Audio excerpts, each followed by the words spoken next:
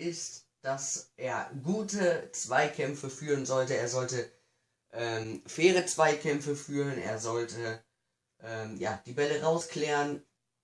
Ein, ein guter Verteidiger sollte viele Zweikämpfe gewinnen.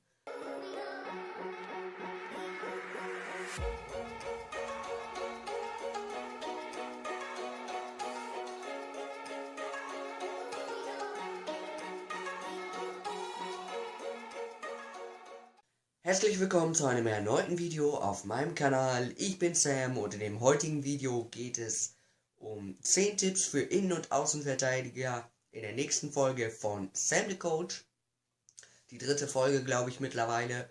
Und ja, heute gibt es 10 Tipps für Innen- und Außenverteidiger. Und ich denke, wir starten rein mit den ersten 5 Tipps für den Innenverteidiger. Und zwar seht ihr das jetzt hier. 10 Tipps für Innenverteidiger. Ich habe das ein bisschen abgekürzt. Fangen wir an mit den ersten 5.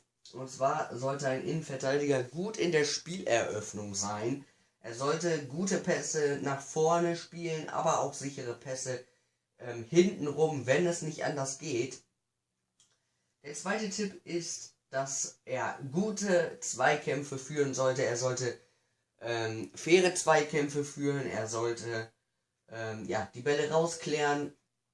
Ein, ein guter Verteidiger sollte viele Zweikämpfe gewinnen. Der dritte Punkt ist die Kommunikation mit seinen Mitspielern. Man sollte viel mit seinen Vorderleuten im Mittelfeld reden, auch mit dem Torwart und den Außenverteidigern. Also ein, Außen, äh, ein Innenverteidiger sollte viel mit seinen Mitspielern kommunizieren.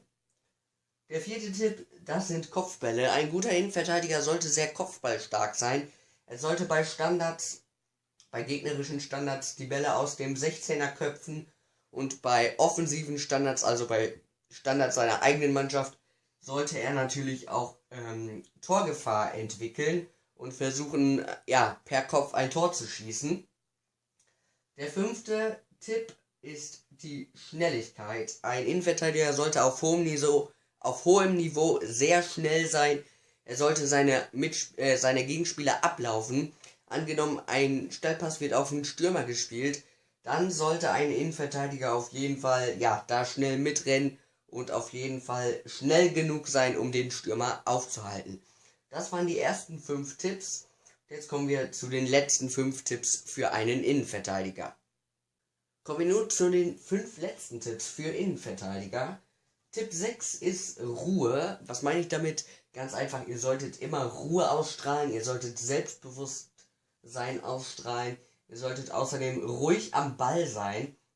Das ist ganz wichtig für einen Innenverteidiger. Ein guter Innenverteidiger sollte extreme Ruhe ausstrahlen, sodass eure Mitspieler immer wissen, okay, bei dem kann eigentlich fast nichts anbrennen.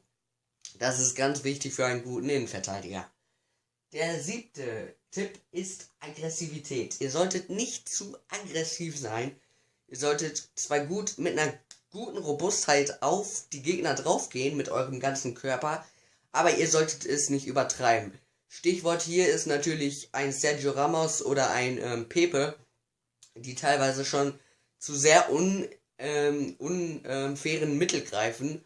Das solltet ihr versuchen zu unterlassen. Ihr solltet wirklich ähm, versuchen, wirklich Ruhe, ähm, aggressiv zwar zu sein auf den Gegner, aber nicht zu aggressiv, also ihr solltet es da nicht übertreiben.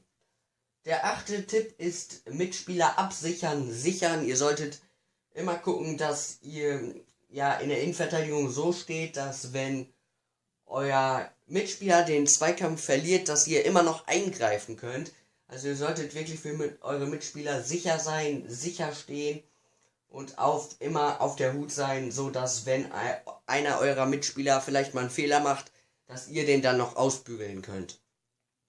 Der neunte und vorletzte Schritt ist Spielverlagerung. Und zwar sollte ein Innenverteidiger auch mal ab und zu einen langen Ball über ja, zu, zum Mittelfeldspieler oder zum anderen Außenverteidiger spielen. Also komplett auf die andere Seite. Das sieht man bei Spielern wie Boateng oder Hummels oft sehr gut. Und das sollte ein guter Innenverteidiger ähm, auf jeden Fall auch können. Und der zehnte und letzte Schritt für Innenverteidiger ist, dass ihr viel üben solltet, beziehungsweise alle zehn Punkte, die, äh, neun Punkte, die ich jetzt hier genannt habe, dass ihr die ähm, auf jeden Fall trainieren solltet. Immer wieder trainieren. Ähm, die äh, Zweikampfstärke, äh, Passsicherheit, alles trainieren, was ein guter Innenverteidiger können muss, damit ihr auch besser werdet. Das waren die äh, 10 bzw. 9 Tipps für Innenverteidiger. Und jetzt kommen wir noch zu den 10 Tipps für Außenverteidiger. Kommen wir nun zu den 10 Tipps für Außenverteidiger.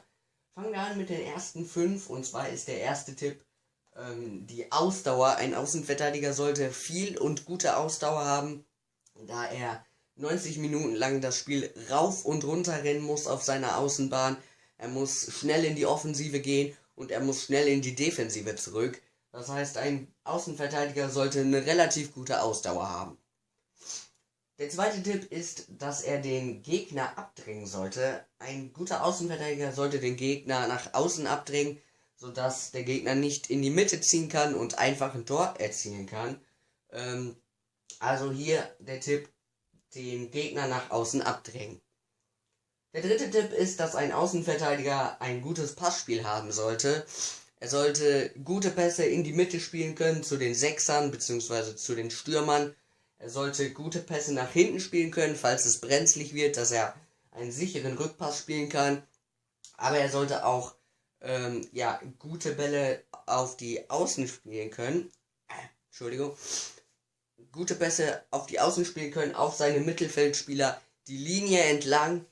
Ähm, also für einen Außenverteidiger, ein guter Außenverteidiger braucht ein gutes Passspiel. Der vierte Tipp ist eine gute Ballkontrolle. Ein Innenverteidiger braucht eine verdammt gute Ballkontrolle, den ersten Kontakt, denn ja, die Außenverteidiger, die Außenverteidiger werden sehr oft schnell angegriffen und dadurch sollte ein Außenverteidiger einen guten ersten Ballkontakt haben und auch sonst eine gute Ballkontrolle.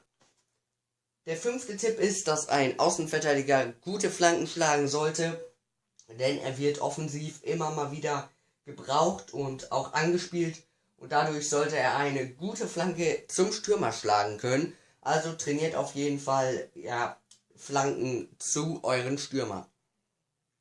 Kommen wir nun zu den fünf letzten Tipps. Tipp 6 ist, dass ihr euch viel mit euren Mitspielern absprechen solltet, wer angespielt werden will und ähm, wer eher nicht. Also ja, absprechen, viel miteinander sprechen, Kommunikation ist da beim Außenverteidiger sehr wichtig.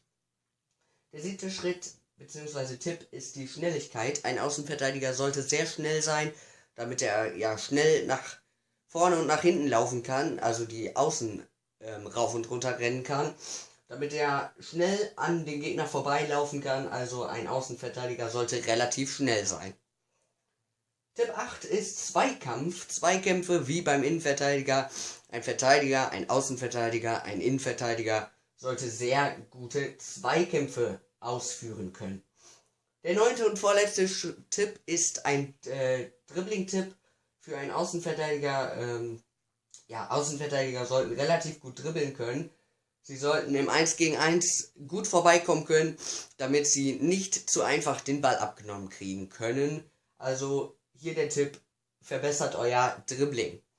Und der letzte Tipp, Tipp 10, auch wie gerade, alles üben. Übt die ganzen Tipps, die ich euch heute hier mitgegeben habe.